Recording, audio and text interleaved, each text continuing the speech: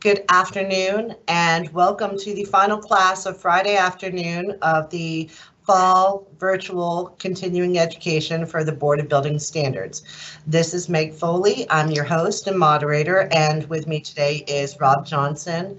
We are, Rob's going to be presenting a class for the final hour of today called BBS Investigations. Rob is an architect administrator with the Board of Building Standards. He is the architect administrator chiefly responsible for uh, communication with the building departments, uh, as well as approval of the um, conformity bodies, the listing laboratories and testing laboratories, that kind of thing. Um, but for these purposes, he's primarily responsible also for the complaints and investigations part of the work that we do here at the board. Um, Rob's a very knowledgeable and experienced guy. I'm sure you're going to learn a lot from him. Um, he assures me his material is not run the whole hour. We might have some time for questions at the end, but if we don't, uh, we uh, please just enter your questions into the Q&A. We'll be sending out a written response to all of the Q&A from the last two days uh, to all of the participants in this seminar. Thank you so much for being here. Thanks for participating. Here's Rob Johnson. Good afternoon, everyone. Thank you for joining us this afternoon with the Building Code Academy. And uh, I'll be presenting our last session today on investigations and certification maintenance. Um, this particular seminar um, I routinely have given in the past. Um, some of you may have been in it before. Uh, normally we cover about two to three hours worth of material. Um, lots of information is shared in that, um, including examples and things of that nature. Obviously, with our time constraints today, we're going to be limited in that. So it's going to be more of a uh, overview, kind of 30,000 foot view of our process when it comes to dealing with complaints and investigations. We'll talk briefly at the end about um, how to maintain your certification. So uh, sit back and uh, uh, if you have questions, feel free to uh, go into the chat area and uh, post that. Uh, Meg will bring those up to us later in the program. So Meg, with that, let's go ahead and begin the presentation, please. Your presentation is live.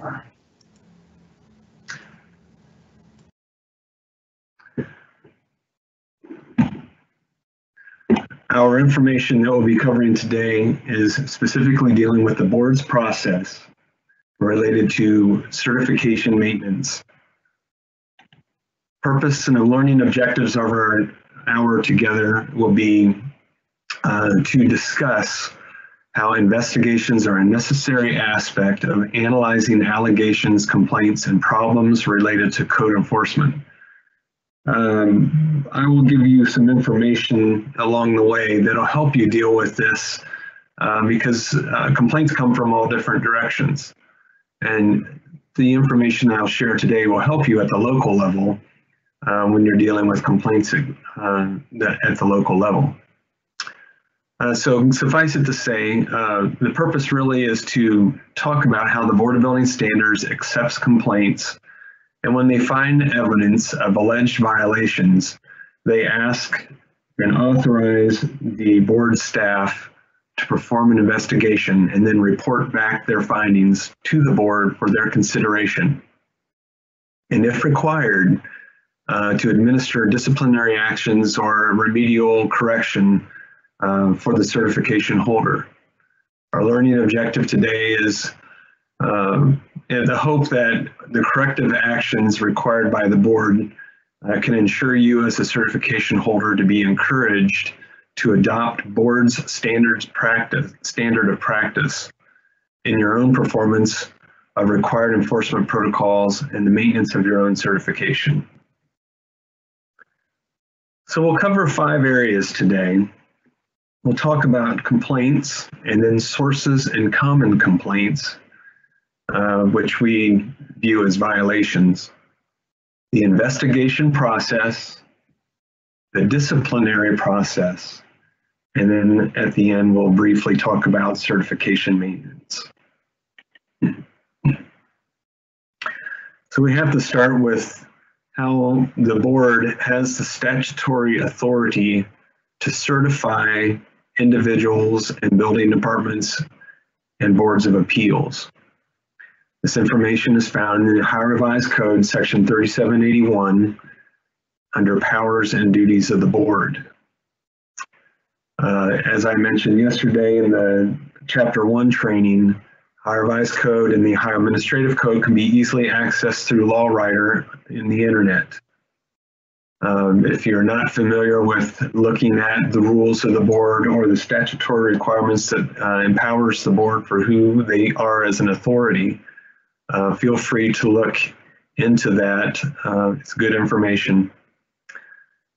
So the board has the authority to certify and revoke or suspend any residential or non-residential, meaning commercial, building department, sub-department, individuals, and local boards of appeal.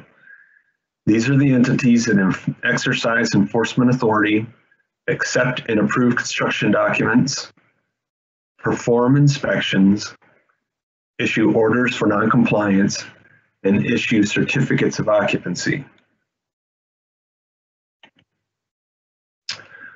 So we're now going to start with complaints and we'll talk about um, what these represent uh, to your constituents, why they complain, um, or why other people who are certified complain uh, to the board with regards to things that are going on in the enforcement industry. So we have a perspective to complaints. Obviously, complaints occur. Uh, it's human nature. We don't like something, we complain about it. This is normal. But uh, it usually deals with two specific aspects of life. It's either objections to situations that occur or disputes with people. So since this is just common to us, uh, we can always learn how to do this better and how to handle complaints. So we must try to discern and understand why complaints occur. We must also master how to manage and learn from complaints to help ourselves and to help those that we serve. And we must recognize the difference between just grumbling about things we don't like versus legitimate concerns or transgressions that exist out there. Our approach to complaints at the board is this. We process complaints and we use three soft skills or personal attributes that enable us to interact effectively and harmoniously with other people. This basically is three things that everyone should be able to do. You need to have the ability to listen and to understand. That's what we call communication. You need to have a desire to help, which means to cooperate. And you need to be able to embrace a civil tone or demeanor that is courtesy or respect or honor towards another person. Kind of consider it as, if you will, conflict resolution. Our position regarding complaints is this. The board hears from complainants when they believe that they have exhausted all local options to resolve their concerns. That's how the board gets our complaints. Ultimately, the complainant must eventually work with you, the building department, and the personnel. Um, we cannot arbitrate between a complainant uh, and a building department. We may be able to help educate and navigate uh, to some degree um, for the complainant to help them understand uh, that their issue will not be resolved except by working with the local um, individuals, the local authority. Our position also is that the board vets the complaints with the aim to help resolve the issue, especially if no violations exist to the board's certification rules. And if that happens, even if uh, a complainant files a formal complaint, meaning one in writing, Uh, if there are no violations to the board's rules, the board will dismiss the complaint. But we will encourage the complainant and the building official and anyone else that's involved with the issue um, to work it out at the local level.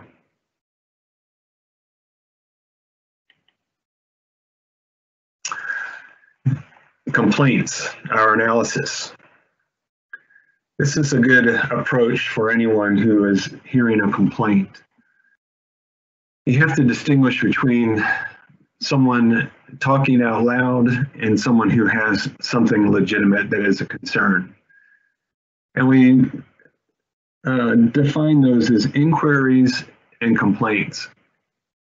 An inquiry is someone asking a question for clarification about either the code enforcement process or perhaps code interpretations or even owner's rights. A complaint, though, is someone who submits a written complaint to the board for intervention. The board takes an action to authorize an investigation as it specifically relates to allegations listed in the Ohio Administrative Code 4101 colon 7. Uh, that section of the administrative code is the certification rules. And what we're looking for is violations. This information is also found on the board's website under the uh, code section. So before we go any further, uh, if you have not been, uh, let's say, to chapter one yesterday, uh, or if you have not been through this program before, um, I wanted to at least uh, help you understand uh, how to keep this process in the big picture view. Uh, building code enforcement uh, is a lengthy process. It involves a lot of people, but it primarily involves the owner. The owner is the one who is responsible for co-compliance, period. He may hire a representative, such as a design professional, an architect, engineer, maybe even a uh, fire protection systems designer, uh, to assist them in providing the information necessary for him to comply with the building code. So when we look at the big picture, uh, you don't just decide that you're going to make a building and then, you know, in two months it's open and you're occupying it. Uh, we all know that there's a process and it, it takes time. There are two pieces to this picture that are absolutely critical um, to the process. Uh, they are legal instruments. They're both represented with the stars that says Certificate of Plan Approval and Certificate of Occupancy. These are pieces of paper that are legal certifications that allows the owner to do certain things. So the owner decides they want to build a building. They, of course, work with designers, or if it's residential, they may do the work themselves to put together a design or have someone else do it. But they choose to build a building. So they take their design and they're supposed to come to the building department and submit their construction documents, fill out an application. And what that does is it triggers a process for code compliance. So during design, the plans examiners will review the drawings or any documents that includes project manuals, specifications, reports, soil studies, lots of information that is necessary for code compliance. And what they do is they verify by evaluating the design against the building code. If the design meets the criteria and intent of the code, then it can be approved. Oftentimes it doesn't happen though.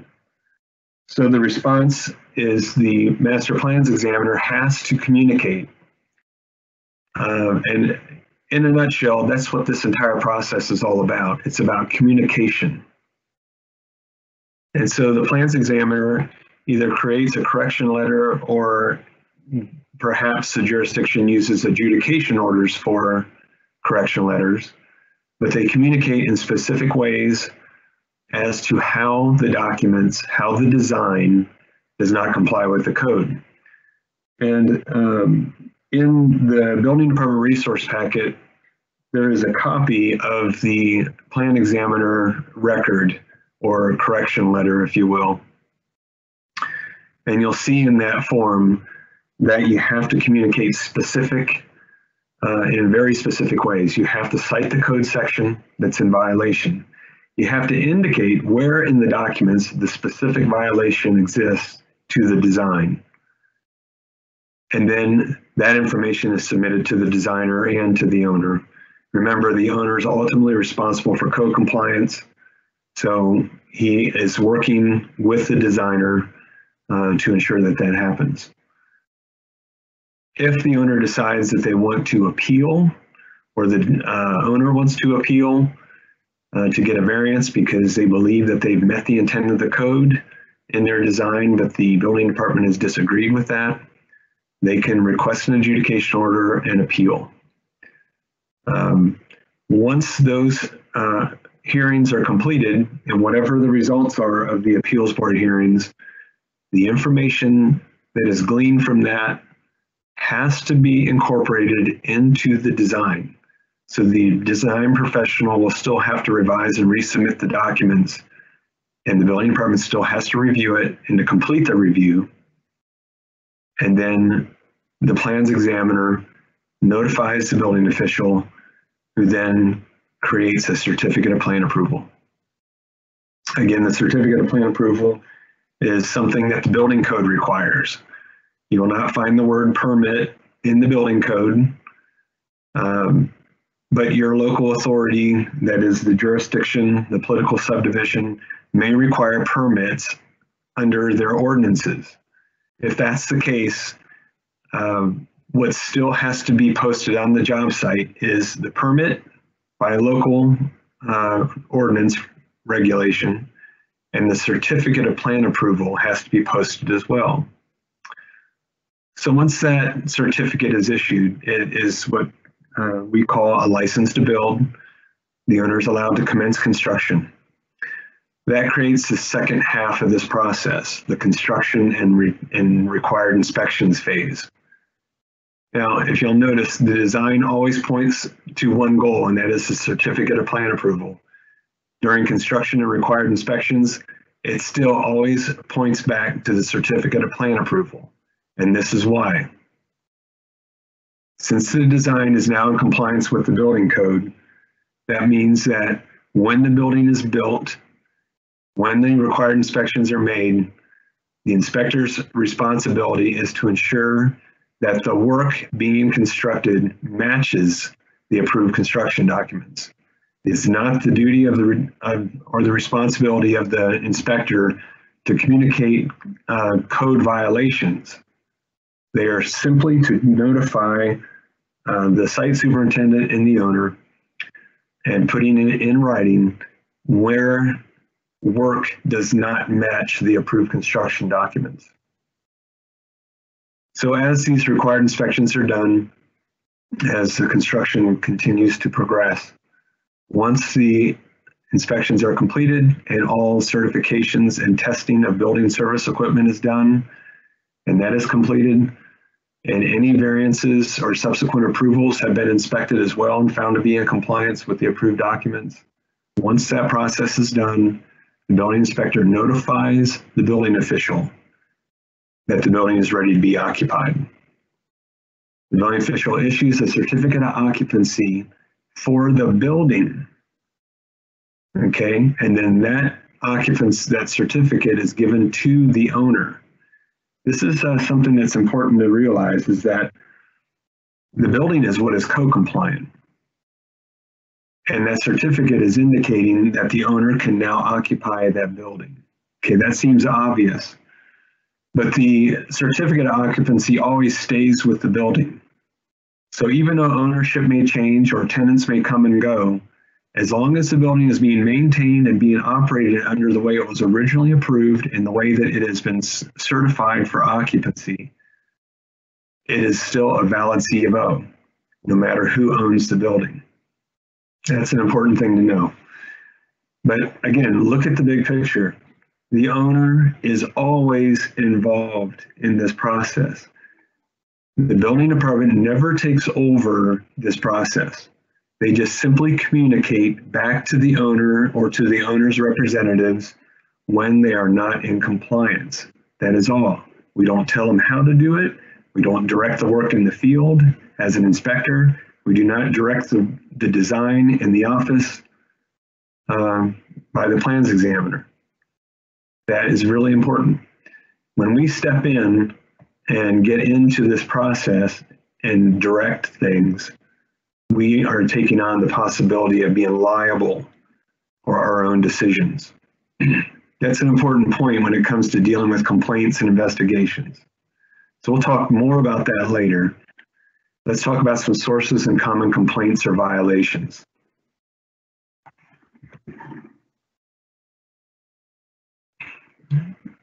Complaints come from owners or their representatives, designers, contractors. They can come from certified individuals about other certified personnel or even elected officials.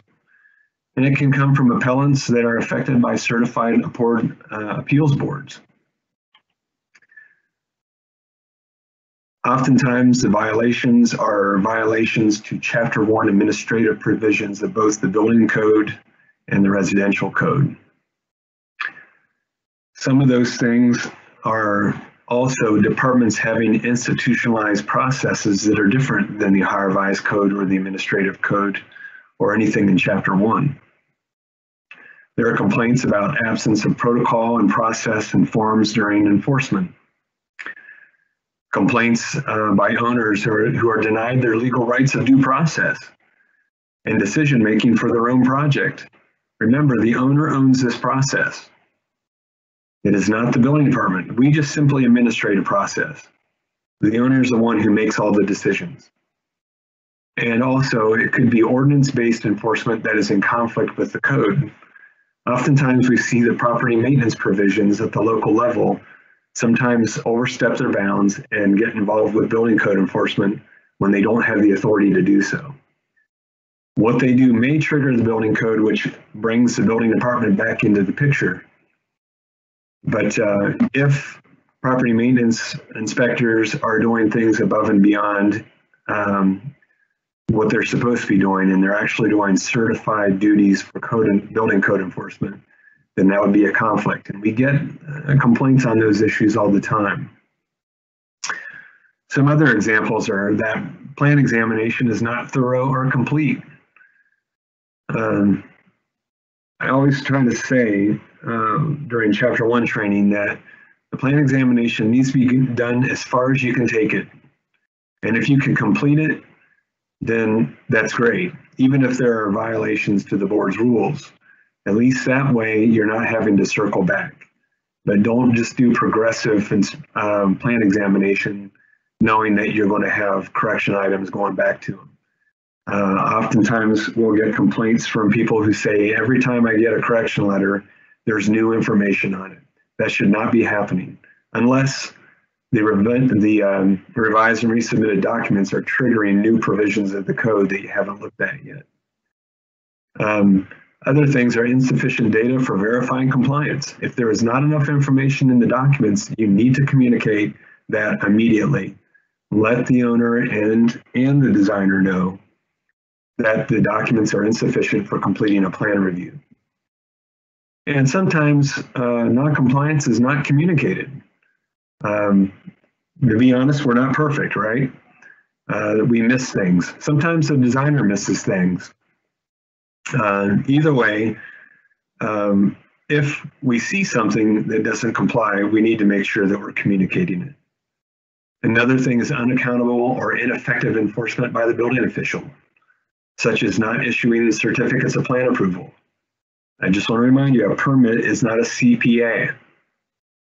Uh, the certificate of plan approval is basically uh, communicating one thing, and that is this design complies with the code. The permit usually is just an authorization to start work. Uh, it could also be called what's a blanket uh, a blanket permit, which is basically a, a permit that's wrapping in all types of local approvals and the building department approval for building all into one thing. Either way, certificates of plan approval are required to be issued. Also, orders, adjudication orders not being issued when they should be, uh, denies the owner's rights to appeal. You need to communicate in very clear and direct ways with the owner when they don't comply and allow them to make the decisions. Also, notice is a recommended change. This is something that you'll find in section 108 of the building code, specifically 10862. I always tell my inspectors that I teach every year that they have to have this section memorized. Because if they do find a code violation in the field that isn't a serious hazard, they should be communicating that information to the building official so that the building official can make a determination on whether or not it needs to be abated. Now, since it's not a serious hazard, a notice of recommended change does something a little different. It is basically a recommendation to the owner that a code violation exists. Somehow it got missed by both the building department and the designer, um, but it is recommended that they change it. Um, most conscientious owners will go ahead and go through and make the change. But if it requires a significant change order, they may hedge at it and not do it. Um, the responsibility after that, if the owner chooses not to do it, is that the building official needs to document that as a condition on the C of O. And last, uh, another common violation is, is, inspectors requiring or ordering changes to the work is not in accordance with those documents, meaning they're directing the work. Um, unfortunately, this comes up on occasion, um, and what we find is that by an inspector doing that, uh, they could be incurring some liability, number one. Number two is they are not allowing the owner uh, their legal rights. One last thing I want to mention in this portion is that the board doesn't have authority to regulate in certain areas. Majority of these things are, are uh, at the local level, but we get complaints often about these things, such as zoning, like easements being violated or right-of-ways, uh, traffic and um, civil engineering, uh, streets. We do not do anything in terms of regulating rental registration or point of sale inspections or even property maintenance. Now, I will say there is one caveat to maintenance that you ought to be aware of. When a building is not being maintained, but it is occupied, if the occupancy, excuse me, if the building is not maintained, uh, the building department does have a responsibility to step in if they are made aware of the fact that it's not being maintained. Um, the trigger of that uh, action is actually found in uh, section 111 of chapter 1 under certificates of occupancy. In one of the charging paragraphs, it indicates that as long as the owner maintains his building, his certificate of occupancy remains valid. Obviously, we want buildings to be maintained because in some instances, if they're not maintained, they become unsafe. So there is um, an opportunity for the building department to step back in if there's a maintenance issue with a building. Oftentimes, though, um, the authority having jurisdiction of existing buildings after the C of O is usually fire. Uh, so the fire marshal or the fire district fire chief, they're the ones that actually uh, exercise authority over the existing buildings. But the building department usually gets triggered if there are things that need to be done. especially in repairs and replacements, things of that nature. Uh, civil arbitration legal disputes or mechanics liens, we will not touch that. Construction or design contracts with the owner, again, these are civil issues. Personal, personnel or performance issues related to local department policies. Your department may have certain policies in terms of conduct or other types of policies uh, regarding attendance and things of that nature. Um, we will not intervene in those things. You have HR departments, your human, human resources um, departments are the ones who would have authority to deal with those issues. And of course, the rest of these things are, are um, chapter one related applicability and scope of work type of things, but um, we don't have any authority to regulate federal projects and, the, and their laws or OSHA regs or enforcement of residential that's pre-2006 RCO. Uh, we don't know what the local uh, jurisdictions uh, had in place prior to 2006. Uh, a lot of people call us and ask those questions. I want to know what code was enforced when I had my house built in 1996. The only thing we can do is turn them back to the building official and, and uh, let them ask the building official what they know was the code being enforced at that time. And of course, utility supply side design of an installation. So all your uh, services that are coming into buildings, PUCO will have the regulatory authority there. Okay, so what the board can do, okay? So we're getting into these issues of violations. These are the five things that the board takes actions on when a complaint is made, an investigation is done, and they need to do something like revoke or suspend or put someone on probation. And, then, and I'm not saying just individuals, but we're also talking about building departments and also appeals boards. So these are the five things that are in this section of the administrative code. If there is a practice of fraud or deceit in obtaining your certification, it is very important when you're getting certified for the first time in a new certification that you are completely truthful with your information. If there's anything in there that is stretching the truth or is incorrect or just a falsehood, and somehow that information gets back to the board at some point, they can use that as a basis to decertify or revoke your certification. Another thing is a felony or crime invol involving moral turpitude. So obviously these are these are felonies, uh, crimes that uh, basically get you into prison. Unfortunately, as an example, um, we dealt with something uh, years ago where someone was embezzling um, money and uh, there was tax evasion going on and the feds were involved. We didn't do anything with the complaint for a very long time, but eventually the feds came back to us um, and also the local authority. Uh, it was the mayor who uh, let us know that that person was going to be incarcerated um, then the board on its own motion decided that they would decertify that individual. And it was sad that that happened, um, but um, how we live and what we do really matters. There's also the issue of gross negligence or incompetence. You know, we presume that you know what you're doing, um, but sometimes people do things or direct things um, or just don't do their jobs or don't do them right. And when that happens, uh, that can also be grounds for revocation or suspension. Uh, this one seems kind of trite, but it still matters. The failure to complete continuing education requirements prior to the expiration date. Um, we all have to do continuing education. It's become the new way of the world. So just stay on top of it and try to get it all done before the expiration.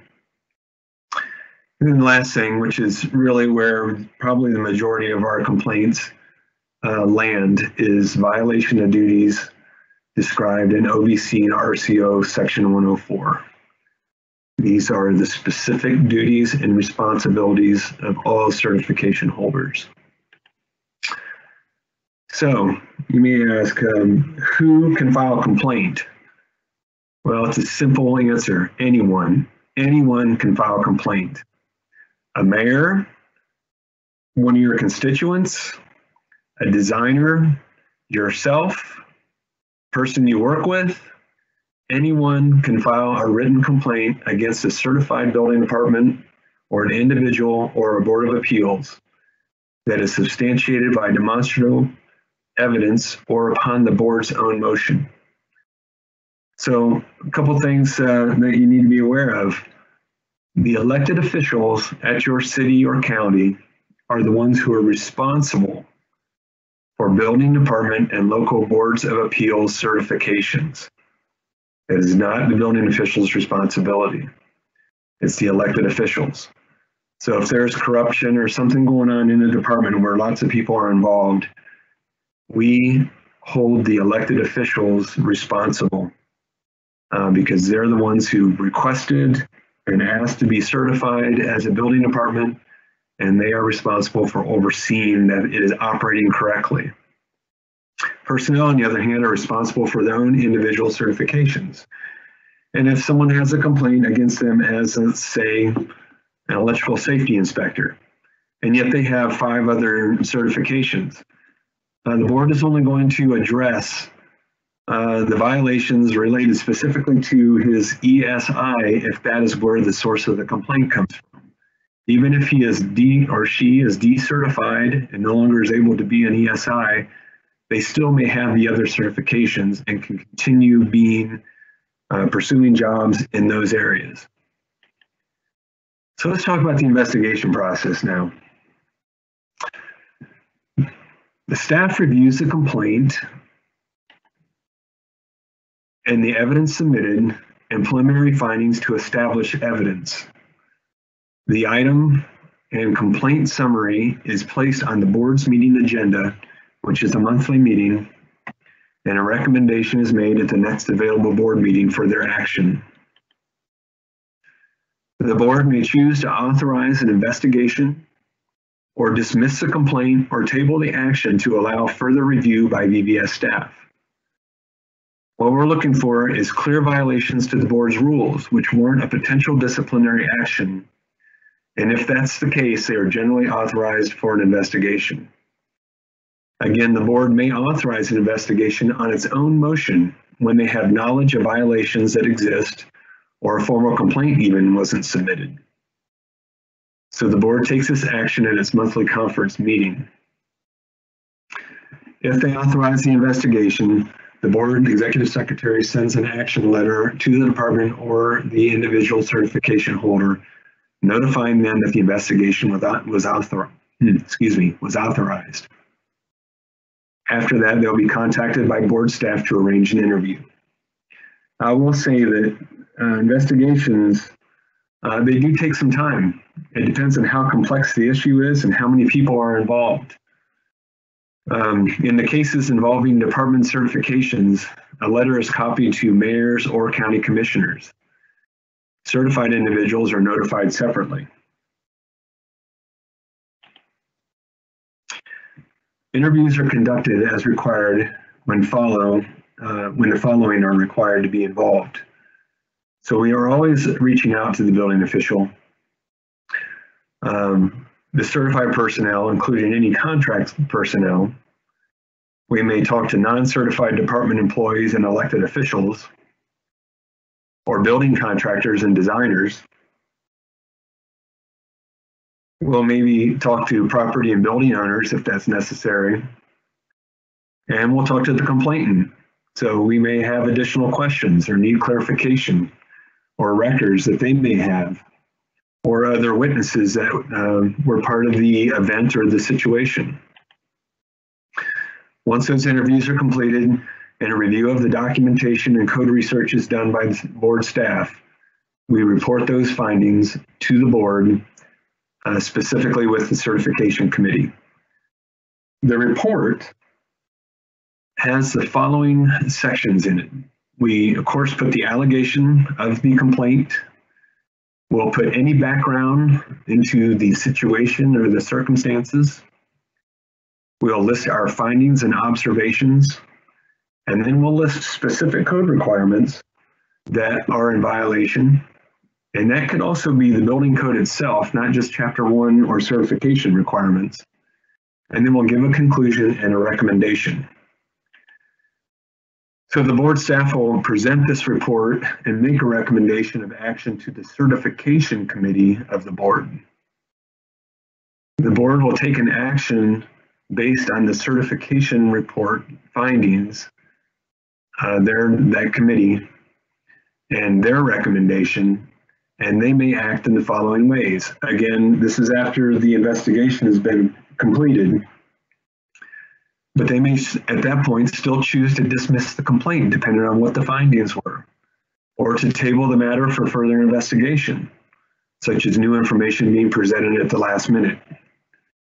Or they can go ahead and, and move forward to suspend or revoke that specific certification, or they can place the certification holder on probation with requirements like additional educational hours, which would normally be above your mandatory 30-hour requirement.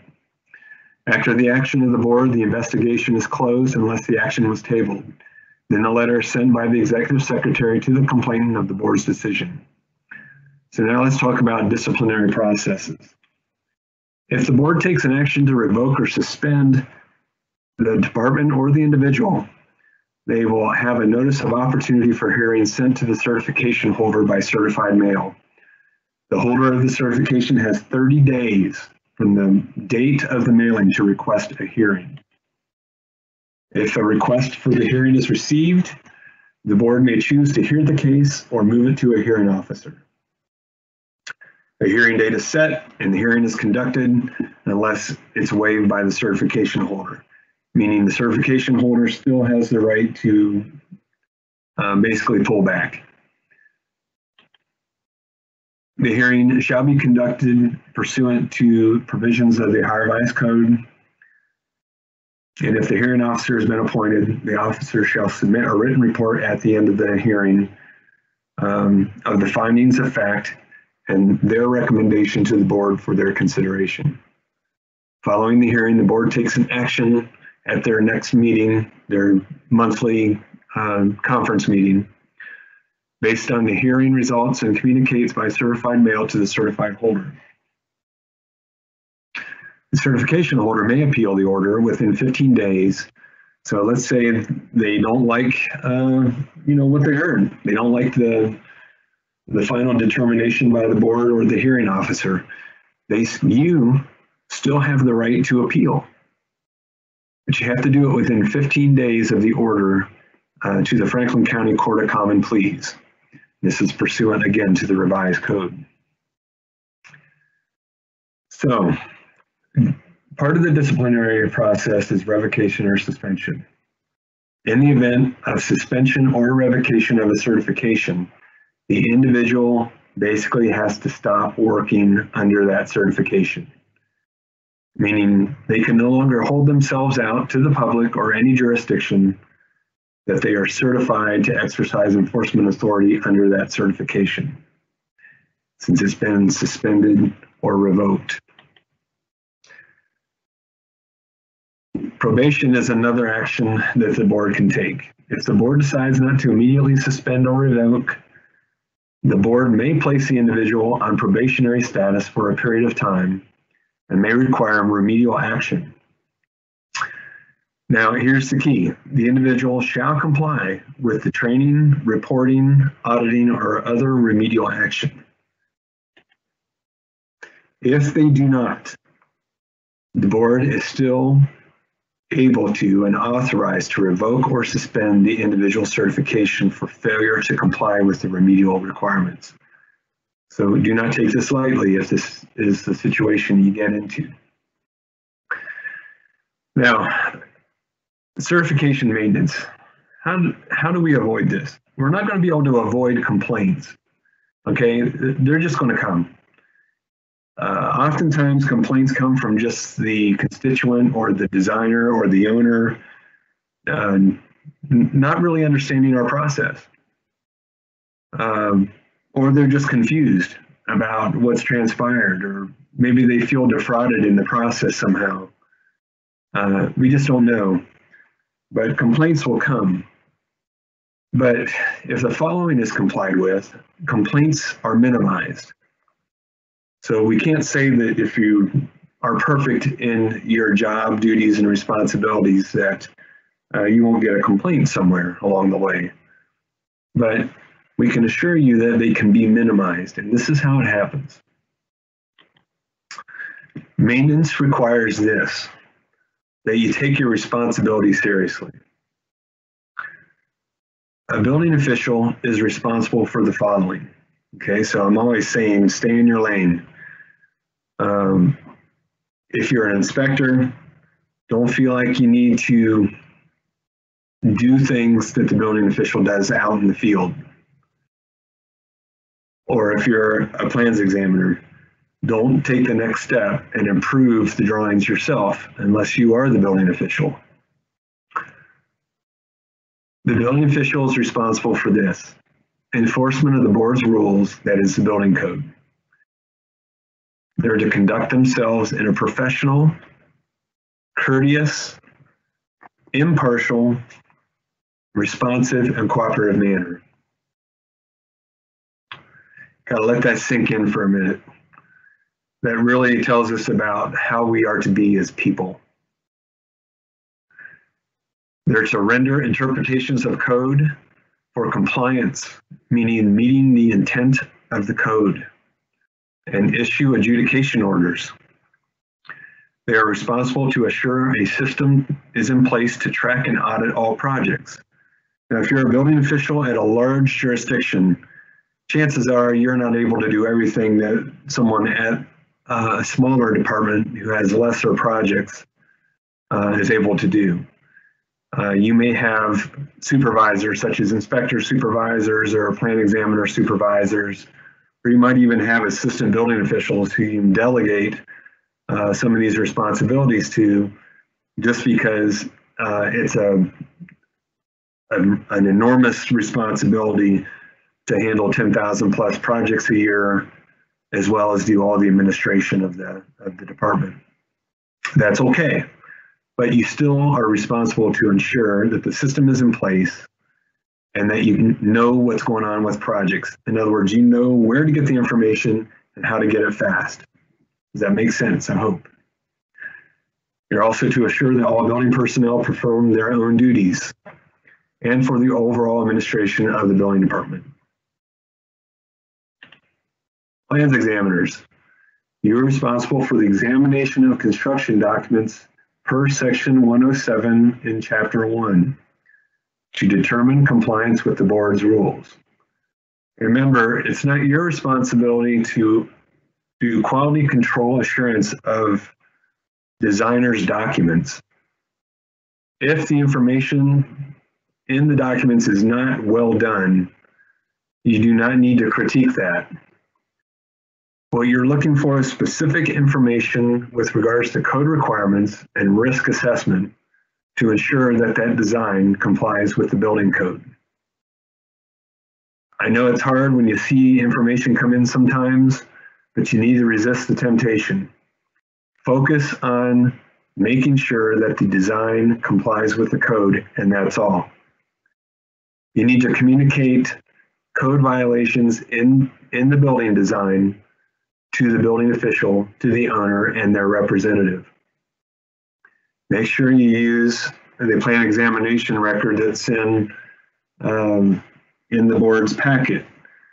Um, you want to make sure that those code sections are clear, that the specific things that you're pointing out in the documents are connected to that code section, and that it's clear as to what they need to do. Again, though, you're not trying to solve their problem. The designer's responsibility is to do that. They may have an, a different way uh, in response as they revise and resubmit on how to get that, that condition to comply with the code. So we don't want to direct the design, let them do it. Just communicate the noncompliance. And of course, conduct yourself in a professional, courteous, impartial, responsive, and cooperative manner.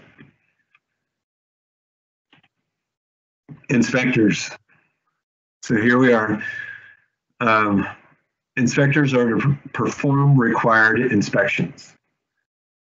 Required inspections are specifically de- um, defined in section 108. Understand what the scope of those inspections are. Remember, inspections are designed to deal with the highest rated risk factors in code compliance. It's going to be things like fire resistance ratings, egress, things of that nature. Your job is not to, in essence, do the final punch out for the quality of the building at the end of the job. You're just verifying those things which are specific code compliance issues. And they are per the construction documents. You shall inspect the work to the extent of the approval type. If it's a phase approval, you're only going to do that phase. Communicate the result of inspections as required in section 108. Inspectors will go over this on Tuesday, I think it's Tuesday, um, or maybe it's Monday. Um, but uh, understand section 108 very carefully. There's a lot there. And then conduct yourself in a professional, courteous, impartial, responsive, and cooperative manner. And I want to add, understand the boundaries with regards to right of entry. There's a fine line between right of entry and trespassing. And it's very important that you understand that. Uh, we do get complaints on that issue still, even to this day. So I want to encourage you to do your best and, uh, and also understand that boundary. Well, this is concluding our um, presentation today. I do want to say this as a, as a point of encouragement. Um, I know a lot of you uh, out there, and you're all doing a superb job. Um, even guys that never in a million years would I ever expect to get a complaint on, sometimes we get complaints on those people. And it baffles me. But usually, again, we're dealing with owners who are learning the process. Uh, honestly, most owners and even some designers don't understand the intricacies of code compliance and what the goals are from our side of this process. But uh, I do want to encourage you to just um, know your duties and responsibilities, understand the board's process for uh, code enforcement, and just do the best job that you can. And as always, if you have questions about things, uh, feel free to call us. Board staff are here to help you. Uh, so if you get into a situation on a job site or during a plan review or building officials, if you uh, get into a, a place that you've never been before and trying to understand how to enforce something, please feel free to call us. Uh, we are here to help. So with that, I'll conclude. Uh, thank you very much for joining us today. It's been a pleasure to uh, communicate this information to you. And I hope that you have a great day. Thank you very much. Thanks, Rob. That was a great seminar. We really appreciate all the uh, information